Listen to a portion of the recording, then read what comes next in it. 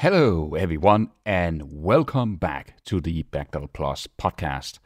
This is episode 12, and today we're going to talk about the future of robot journalism. But today I have someone special here with me. Her name is Hannah, and uh, well, Hannah, will you say something? Hi.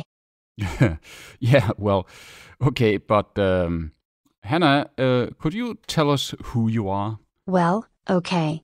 Hello everyone. My name is Hannah, and I'm what some would call a robot. Yes. So that's exciting. So, Hannah, do you know anything about uh, robot journalism? Well, I was born a robot, Mhm. so I think I have a bit of experience talking about this. Okay. And on top of that, I have a background in computers and machine learning. So, yes, I think I know a bit about this. Oh, great. So, um, well, shall we get started then? Yes. When's your birthday? I never had a birthday. His name is David.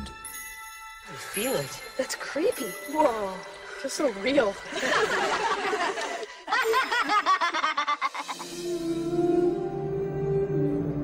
In a distant future, in an age of intelligent machines, he is the first robotic child programmed to love and coexist as a member of a family.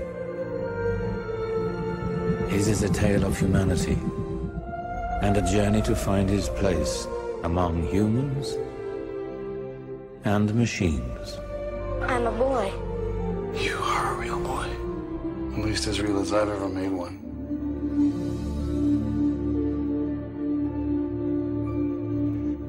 Okay, so everyone is talking about this trend that we see around robot journalism. And more than that, we are now seeing more and more real world examples that actually work.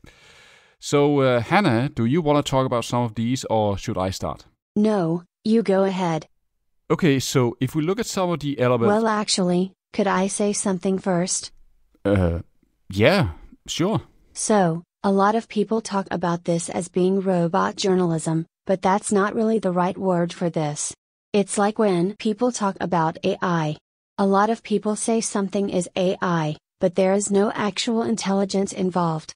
It's just computers doing fancy things and running algorithms, but the computers don't actually know what they are doing. It's the same with most robot journalism.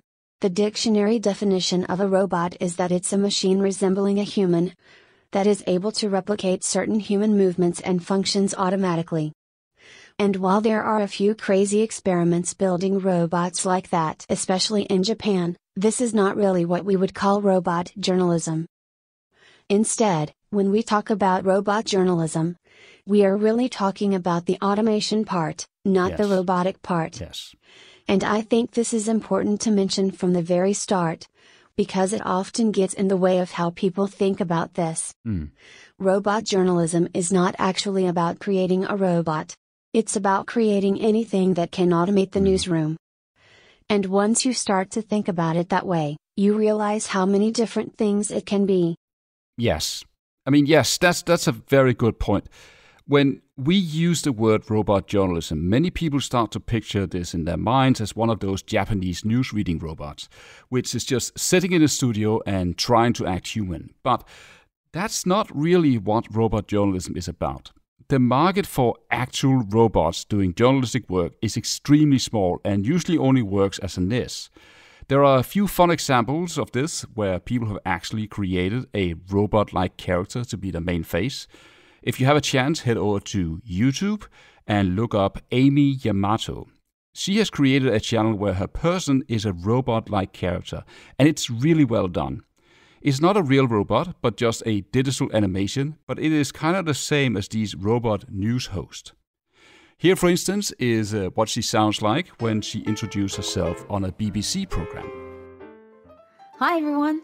A few weeks ago, I was asked to be a part of the BBC's flagship technology programme, Click. Tech reporter, sci fi author, and all round supergirl Kate Russell was doing a feature on Japanese YouTubers and asked if I could record a short clip introducing my channel. Hello, BBC Click. I'm Ami Yamato, and I've been making YouTube videos since 2011. My videos are mainly about London, with a few from my hometown of Tokyo. I also make movie parodies and probably talk too much about coffee. Mm, sounded a little rushed, but it's all in there. I sent it to Kate, she approved, sent it to the editors, and a few days later, there I am on the BBC. Thank you, Click. But while this is fun, this is not really where this trend is heading. When we talk about robot journalism, the real trend is when we look at all the things that aren't about creating an actual robot, but instead focuses on the automation part, which means that a better way to describe this is to call it news automation. What you're actually doing is to create automated systems that can do journalistic tasks. Exactly. And, the new thing is it can now be used to do journalism where before it was just doing technical work. Yep. One example is that if we think about automation as it happened before with publishers, mm-hmm. they were always focusing on only the technical side or the business side of things. Oh, yes, yeah. For instance, in newsrooms, we would see how they were using robots to automate parts of the CMS, like automatically adding pictures, or mm-hmm. converting something from one format to the other or maybe do some technical things in relation to the business team or the analytics. Yeah. But then several years ago, we started seeing how this technology was used to do journalistic tasks. One example of this was in 2014 when the LA Times started using automation to publish articles about earthquakes. It was very basic, but what they did was to link out to the US Geological Survey, where every time there was an earthquake, it would take that data and put it into a template, using some very rudimentary templating and natural language. Yeah, exactly. And this was where people started seeing how this could be used for more than just technical things. When you have a system that can write articles in a fully automated way, you mm. have an actual robot journalist. Suddenly we have automated systems that are directly doing journalistic tasks. Yeah. It's yeah. not just automating the work processes, it's being a journalist. Yeah, yeah. Yeah, and, and and and this is really the important thing to remember about this. When we look at the newsroom automation as a whole, a lot of it obviously has to do with every single thing that a newspaper or a magazine can automate. But when we talk about robot journalism, we are specifically talking about the part of this automation that is entering the newsroom and doing what we would consider to be journalistic or editorial tasks. It's things that we used to do as journalists but can now do either fully or partly automatic. So I think a good way to explain this is to talk about the different categories of robot journalism that we see and how this trend plays out for each of them right? Yeah, sure. Okay, when it comes to robot journalism, there are four basic categories of automation no, that. five. What? There are five categories. Oh, yeah. Sorry. Um, this is the advantage of having a robot helping you. Um, Hannah is a lot better remembering things than I do. Anyway, um, there are five categories of robot journalism that each play together. First of all, we have input and output, obviously. But then between those two, we have three categories of automation that help us actually turn things into a usable result. These are data processing, natural language processing, and a broad category of understanding, which today is often done with machine learning. All of these, of course, play into each other. So a specific system might have a combination of all of these that then play into making it work. But let's talk about each one because there are some really exciting things happening with these in relation to journalism. Sure. So let's start with input, not just because it's the first path of the process, but more because it's actually the one that I like the most. Ooh, you mean how it can do soft inputs? Yes, yes, exactly.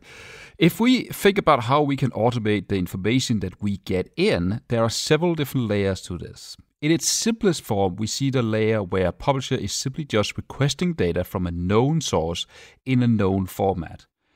A good example of this is with the LA Times that uh, you, Hannah, talked about earlier. Yep.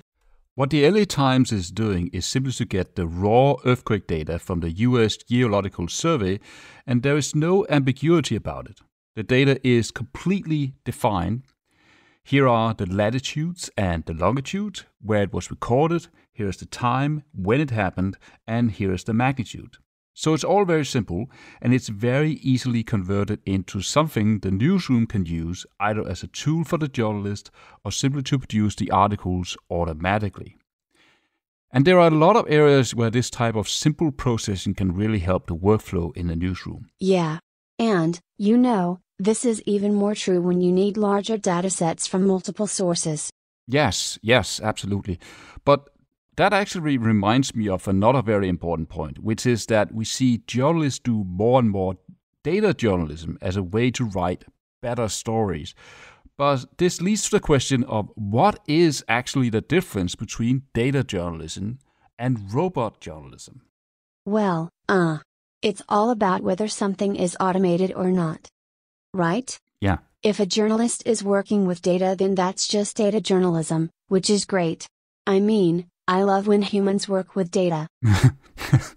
yeah. But it doesn't become robot journalism until you automate the process. So, if you have a script that does something, but the journalists have to manually activate it every time, or for every source, then that's not robot journalism. Mm-hmm. But if you instead write a script that automatically monitors something, or in some other way makes a decision to run without having to be commanded by a human, then that's robot journalism. Yes, yes. That's a very good way to put it.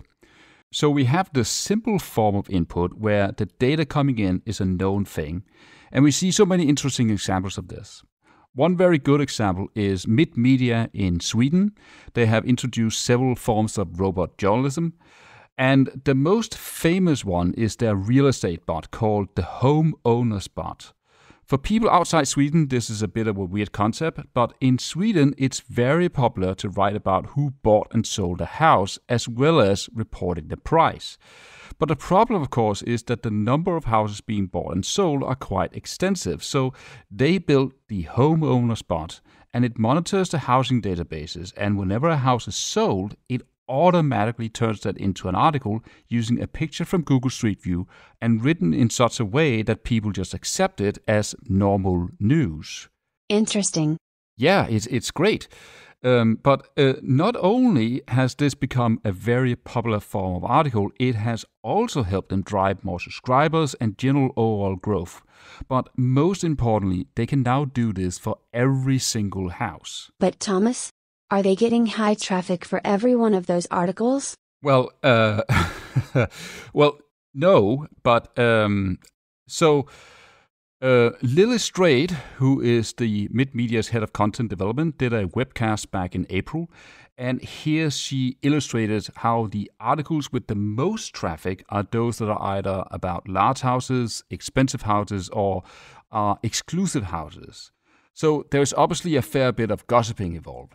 But also think about this in the ultra local way. People generally might read more about the big houses, but if someone on your own street has sold their house, pretty much everyone in that hyper local area would be interested in learning who has moved in, but also what the price for the house was. This is very local and relevant information for people to learn about their housing prices in their area. So it's easy to see why this is appealing.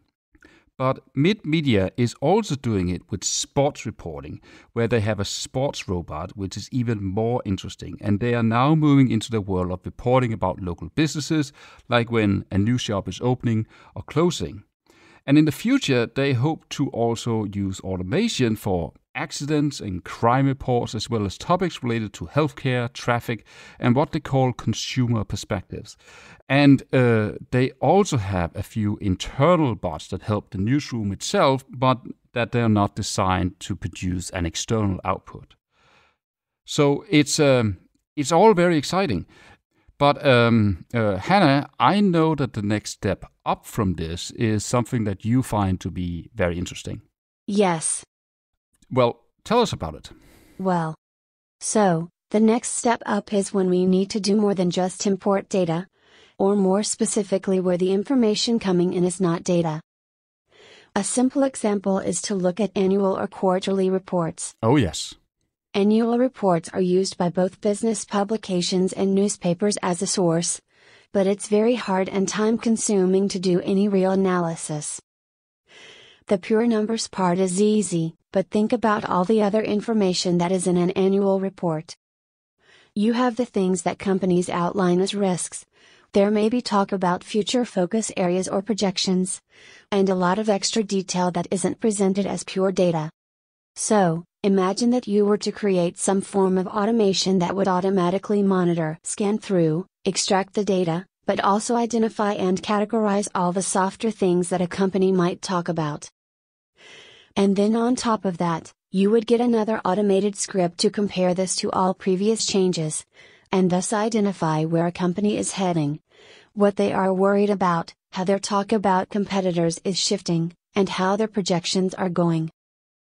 You could take these findings and either present these to the journalists in your newsroom, or, you could use another form of robot journalism to write the story. Yes, yes, absolutely. But this is only the start, and Thomas, I Mhm. know you have a good example of another way to think about this, about Mittmedia's sports robot. Oh, uh, um, uh, yes, yes, I, I absolutely do. Um, so, one of the really fascinating things I heard about Mittmedia is what they're doing with their sports robot. At the basic level, they have this bot that is simply looking at the scores and basic information about a match, and then it automatically turns that into an article. It's quite good at it, and obviously making this work is a bit advanced, but from a data perspective, it's not really that special. But what they have also done now is to create a way for the sports robot to interview people. Well, um, actually, let me just play a short clip from uh, Lily Strait's webcast where she explains how it works. And uh, something that is quite new uh, in the sports robot is that we can have comments from the coaches, uh, and that gives the text a whole new dimension, I think. Um, the robot interviews interviews the coach after the completed match and inserts the answer into the automatically generated text. The coach gets an SMS with a summary of the game and text back his thoughts about it. And uh, I think that is genius. I have written thousands of articles like that back in the days. And I could have done so much better work if I had time to do something else than that. Okay, so that's interesting, but more specifically, she explains that it works like this. Well, from the beginning, um, a, a real hu- human calls and asks, "Do you want to gi- give comments uh, this season?" And um, hopefully they say yes, and then they, after the game, they get a, an SMS. Uh, so, hello, uh, I can see you won the game with the eight to zero. Can you say something about it? And then they answer. So the whole thing is still pretty basic. Today, what they do is they first build a database of people to contact, which uh, is done manually. But then after that, the robot takes over and simply contacts each coach or player in relation to a match, asking them if they want to have a comment. The robot then takes this information, and I assume it's doing some kind of processing to figure out what is being said, at least in a very simple way. And this is then automatically added to the story, which the robot also writes. So this is truly amazing. Now, as a journalist, you might say that there is much more to uh, being a journalist, and I agree. One of the key skills of any journalist is not just to ask for comments, but also to put some pressure on the person. This is particularly important when covering politics or any form of wrongdoing, and right now, robots can't really do this. Well, I can ask some hard questions too. yes, but uh, I mean, it's. Uh, In fact, one of the key things we can do with machine learning is to identify patterns or things that humans wouldn't be able to see. uh, And so, asking the people involved automatically would be a way to understand whether a story is worth focusing on. And this is something robot journalists could do. Well, yes, okay, yeah. I, I mean, I, I, I agree with that. But what I'm trying to say is that, um, uh, for instance, what would you do as a robot if I choose not to answer? I would cut your internet. yeah. Okay. Okay, but uh, I, I mean, No, but seriously, this is no different to how humans do it. If journalists can't get an answer to their questions, they deal with it by pointing that out in the story. Right? Yeah. they write yeah. that the person was not willing to provide a statement. So, we robots would do the same thing. Well, uh, yeah. Uh, um, so, okay, that's actually a very good point, and I fully agree with that. But the point is to think about how amazing this future potential really is. So, we started by talking about uh, just the simple forms of input, just the data. We then talked about the more advanced form of data processing, where the information needs to be processed before we can use it. But by having robot journalists also interview people, we can suddenly get input from things that there isn't any data for until we ask for it. So, and, and, I mean, this is amazing, and it takes robot journalism to a whole new level. And of course, if you think this is too high tech, a few years ago, you might remember the demo that Google presented at the Google I/O conference, where a robot called a hair studio to book an appointment. Here, um, uh, let me um, play it for you. So let's go back to this example. Let's say you want to ask Google to make you a haircut appointment on Tuesday between 10 and noon. What happens is the Google Assistant makes the call seamlessly in the background for you. So what you're going to hear is the Google Assistant actually calling a real salon to schedule the appointment for you. Let's listen.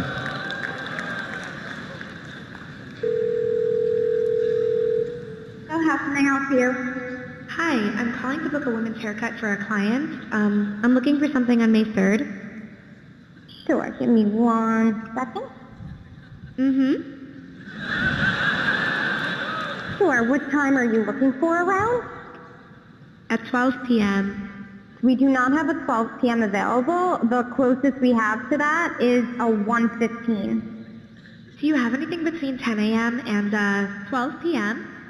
Depending on what service she would like. What service is she looking for? Just a woman's haircut for now. Okay, we have a 10 o'clock. 10 a.m. is fine. Okay, what's her first name? The first name is Lisa. Okay, perfect. So I will see Lisa at 10 o'clock on May 3rd. Okay, great. Thanks. Great. Have a great day. Bye.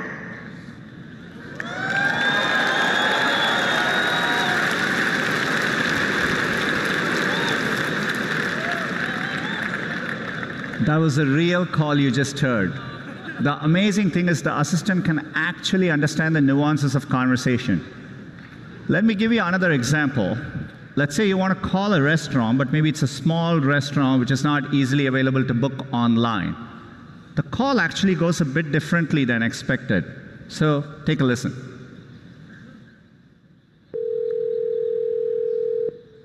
See how may I help you? Hi, um, I'd like to reserve a table for Wednesday the 7th.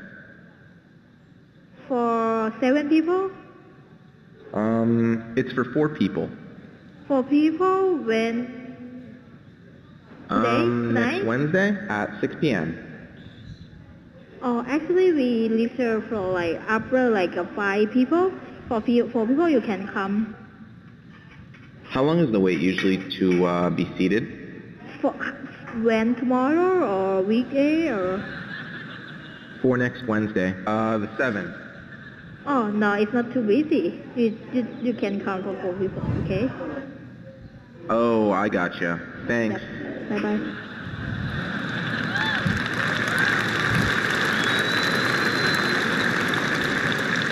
Again, that was a real call. We have many of these examples where the calls quite don't go as expected, but the assistant understands the context, the nuance.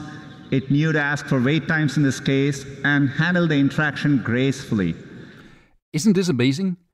Granted, this technology is still being developed, but think about this in relation to robot journalism and how many things we could possibly connect this to. The future potential here is is just, you know, amazing. Obviously, there's a lot of debate about this that I won't go into here. Some people feel that this is fake, and in the US, they have such a big problem with this thing called robot calling. So, the last thing people want is to just have a millions of automated robots calling everyone all the time. But the problem with this isn't really about the robots, but how they're being used. For instance, in Google's example, the robot is merely calling to book an appointment in exactly the same way as a human would. And in that case, it doesn't really matter if it was an actual human, the human's assistant, or a robot assistant that is doing it. It only becomes a problem when it's done for nefarious reasons uh, or for things like spam. Right? I mean, what do you think, Hannah? Yes. It's important to look at whether you are adding value or whether you are just adding noise. Yep, exactly. But anyway, uh, um, that's the input part. Now let's talk about the other things. So, the next step is all these things that are robot journalism tools used to make it all work the data processing, the natural language processing, and the understanding part. Let's start with the natural language processing. So, Hannah, what is natural language processing? Well, it's, uh, I think the best way to describe it is to say that it's the glue between us. It's what we use to translate between humans and robots. Yes, yes. So, natural language processing is an algorithm that converts either human text or speech into data that the computer can understand, or the other way around. For instance, Mittmedia most likely have some kind of natural language system that converts their data into perfectly normal articles for us humans. And you who are now listening to this, you have probably used natural language processing several times just today. Every time you go to Google search, your request is processed through some type of natural language algorithm to understand what it is you're asking it to find. For instance, if you ask it to find pancake without eggs, a natural language algorithm tries to identify what that actually means. It doesn't just look at the three words as keywords, it identifies the meaning and the possible intent. As a result, you end up with recipes for pancakes, and it will show you, for instance, eggless pancakes, or even recipes that are simply classified as vegan, which also both have eggs in them. It's the same with Siri, Alexa, and Google Assistant. Every single time you ask it a question, it is run through a natural language processor to make sense of that. And as you can hear from the example earlier from the Google Duplex demo, we now also have what they call continued conversation, where it is able to continue a discussion based on the information it got several steps before. So this is all very, very interesting. Yeah. But, it's also very simple. Uh, yes. Uh, what um, Google Assistant and Alexa are doing is basically just reacting to single questions. For Hmm. journalists, this is not good enough. Imagine that you want to create an automated system that processes press releases. In that case, you don't just have one specific question. Now you have a full page of queries. And, one of the problems with you humans is that you have a tendency to babble. you add all kinds of irrelevant information. Processing this goes much deeper than just identifying what is talked about. Uh, Yes, yes. Uh, um, yes, I I uh, I agree. I agree. Just think about the Apple press event where they presented the Mac Pro. As robots, we might just say, Apple presented the Mac Pro and a 6K display. Whereas humans would say, oh my god, Apple came out with the Mac Pro. And the stand for the display is $1,000. Yes. Well, yes. And this is what journalists need. The skill of a journalist is to identify the meaning and the importance of things. And so robot journalists must be able to do the same. Yes, yes. Yeah, actually, thank you for that. This is a very good point. In fact, it reminds me of a problem that some of the new startups have talked about. For example, whenever they try to do curation, it's not enough to just process all the news to identify the keywords of what's in them. You have to take this to a much higher level and using natural language processing that can look much deeper into things, but also understand the importance and the impact. And more importantly, which part of the news is really the key element. This is really hard to do. And, it also applies to the output. I know you hate that part, Thomas. Yeah. Um, uh, yeah, uh, okay. Let actually let's talk about that. So, uh, natural language processing is obviously very important for the input, and especially to use for any form of journalistic analysis or for doing automated interviews. But the other part of natural language processing is the output. Uh, one example is what we talked about earlier about Mittmedia and their sports spots or their homeowner spot. Here they're using what I assume is some form of natural language processing to be able to turn this data into articles that sound like something we humans would like to read. And they are quite good. But what really pisses me off uh, is that in the tech world, almost nobody gets this. And every single month, we see yet another AI, machine learning, or some kind of deep learning type of thing that pretends to be able to write things. And in in almost every single case, the developers creating these things just don't get it. It's 100% crap. Um, let me give you one example of this. A few months ago, we heard about a tool called Talk to Transformer, which was based on the OpenAI platform. It promises to be able to write stories, poems, news articles, and more. But it can't. It's completely useless. Actually, let me demonstrate it. The way it works is that you write the start of a story by just adding in a few sentences, and then it will pick up from there. So I have their website on my screen right now, and so I will put in the start of Harry Potter, the Philosopher's Stone. And um, uh, Hannah, could you help me here? Could you read what's on my screen right now? Sure, uh. Mr. and Mrs. Dursley, of number 4, Privet Drive, were proud to say that they were perfectly normal, thank you very much. They were the last people you'd expect to be involved in anything strange or mysterious, because they just didn't hold with such nonsense. Okay, so this is the start of Harry Potter. So what I'm doing now is to click on this button that says complete text, which will then make it write the rest of the story. So, uh, Hannah, will you read what it says now? Remember, it will have the same start as before, but after that, everything was automatically generated. Sure. Mr. and Mrs. Dursley, of number 4, Privet Drive, were proud to say that they were perfectly normal, thank you very much. They were the last people you'd expect to be involved in anything strange or mysterious, because they just didn't hold with such nonsense. In fact, I asked Miss Dursley about this with her family member, and she told me that they've been quite the opposite of normal, which is not to say that they were all innocent, but rather that they were just like anyone else, living a normal and ordinary life. At one point, Miss Dursley told us, I suppose there's always the question whether there's a second or third party in this world who has to intervene and stop the event from happening. Of course, he wasn't talking about the authorities. The whole thing is a story of three young men who decide to play along with something that they are told won't make a huge difference. It's almost like a religious tale or a fairy tale. It's not a crime in any way. It's just normal life, and there's nothing wrong with it. They've been very forthcoming, and told me that they had a number of things to ask for my forgiveness, including giving me a refund and all the money they'd saved up. Okay, so first of all, it sounds impressive. I mean, it's perfectly able to put together word sentences in such a way that they sound like real sentences, but it's crap. In fact, Hannah, let me give you a little test. What defines a great journalist or a great author? Oh, that's easy. A great author is someone who can tell a great story. Yes, yes, exactly. It's someone who can tell a great story.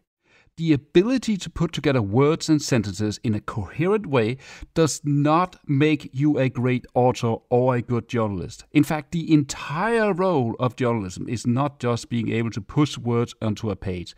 Instead, it's about identifying what's important and then telling that story. What this tool is doing is not that. It doesn't know what it is writing. And you can hear it. It starts out talking about Mr. and Mrs. Dursley, then it becomes Miss Dursley, and then she is suddenly referring to herself as a he. Then the story is suddenly about three young men, and finally it's about getting a refund and saving up money. It's just complete and total crap. This is the opposite of robot journalism, and it just pisses me off when I hear people talk about these things, and especially when I hear media people talk about it. The reason I heard about this tool was because people on media Twitter started saying how amazing it was and that it was the future of robot journalism. No, it's not. It has no use for us because it cannot do journalism at all, or even anything. It's not even a technical showcase. It's just crap. It's it's it's completely the wrong focus. And uh, yeah. Anyway, sorry, I got uh, I got carried away. Hey. Yeah. Anyway, moving on. Let's talk about the data processing and also the understanding part. Yes. We already talked about most of this. But there is one thing I want to mention about data. Okay. Well, most robot journalism examples use the wrong data. And I think this is something you have talked about in other places. Yes, yes. One example is to think back to the LA Times and how they are covering earthquakes. Think about the data they use. Mm. They are reporting where an earthquake happened, its magnitude, and the time, because that's the data that they are getting. But this is not really useful. What people actually want to know is what kind of impact an earthquake has, and more to the point, whether it has an impact on them personally. Yeah. For instance, what has this done to infrastructure? Are trains and buses still running or are you stuck at home or work? Is the power out? So, what we need is an entirely different form of data. I mean, sure, you would still report to people what the magnitude of the earthquake was. But the data that we really need is live updates from the train and bus networks, the power stations, the police, and other emergency bureaus. We need data that relates to people, instead of data that relates to things. Right? Oh, yes, yes. I, I completely agree with that. In fact, this also ties into the part about the understanding of the data. It's so easy for newspapers to just report things, but what does something actually mean?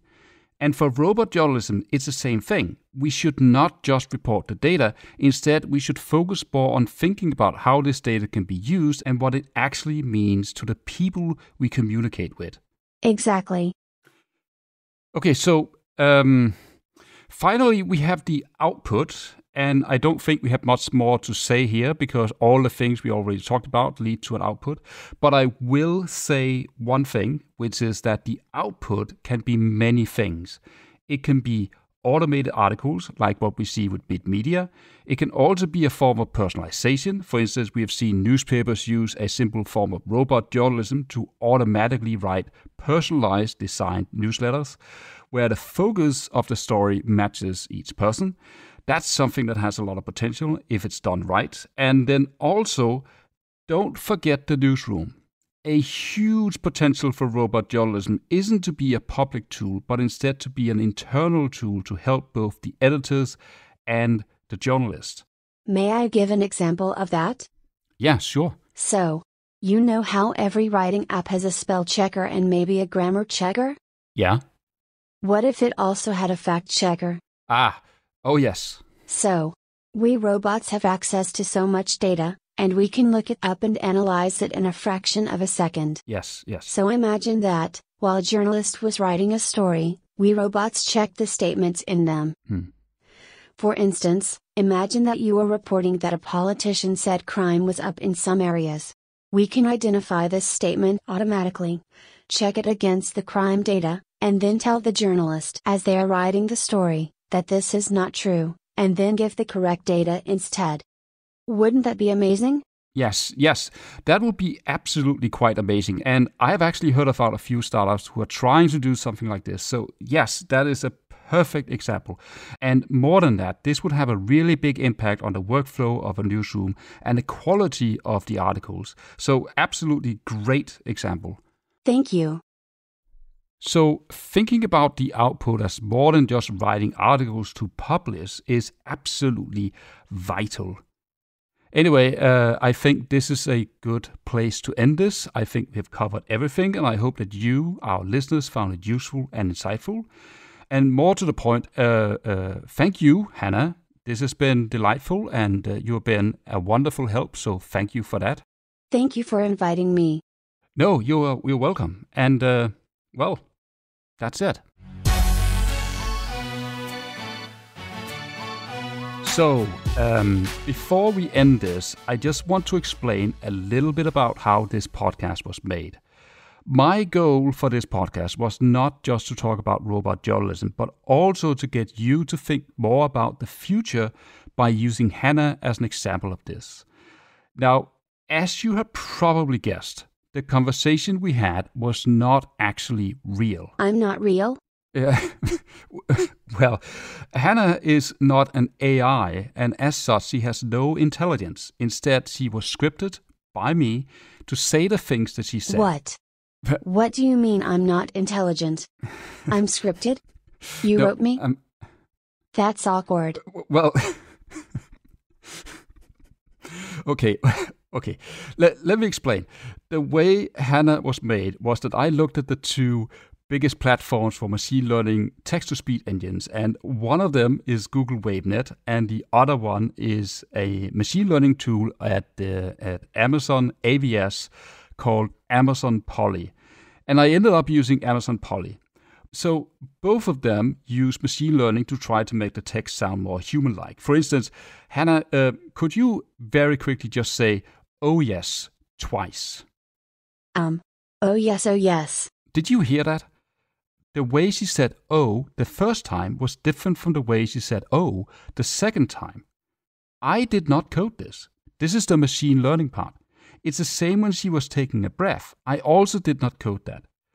The places where she took a breath was defined entirely automatically using machine learning as part of how Amazon Polly works. So, from that perspective, Hannah is actually very intelligent. Ah, thanks. Well, overall, this whole conversation was scripted. In fact, before recording it, I wrote this entire thing basically like a form of screenwriting. Then I took Hannah's part and I recorded that using Amazon Polly, and then I recorded my part while listening to Hannah so that I could react to it the right way.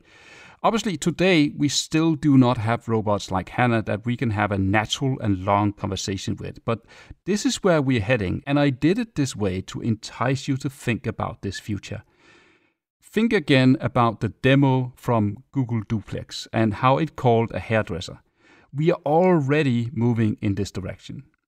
One thing I will add though is that we are very far from having someone like Hannah who can have a discussion about so many different things. Think about Mittmedia. They have one robot, at least that's what I assume, that is tailored to sports reporting, and another one that is tailored to real estate reporting. But it would be extremely hard, if not impractical, to create a single robot that can do both. Most likely, each robot is sharing the backend processing, but the specific part of each robot is designed for each thing. This is true for all these new technologies that we hear about these days, whether we are talking about AI, machine learning, robot journalism, or whatever.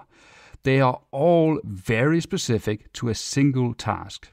You could potentially chain these tasks together, but you wouldn't get as wide a scope as what I did here with Hannah. Anyway, I hope this podcast was interesting and that you enjoyed it. Also, I want to add that while this podcast is free to listen to, the only reason I make something like this is because of Baekdal Plus.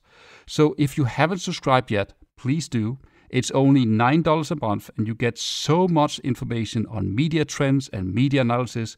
You get this podcast, you get the newsletters, but most of all, you get all my huge plus reports. So, well, yeah, uh, something to uh, consider. Well, um, uh, Hannah, do you have anything you want to say before we end this? Yes. Kill all humans.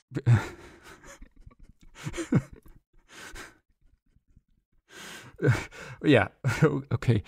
Um, well, anyway, um, as always, thank you for listening.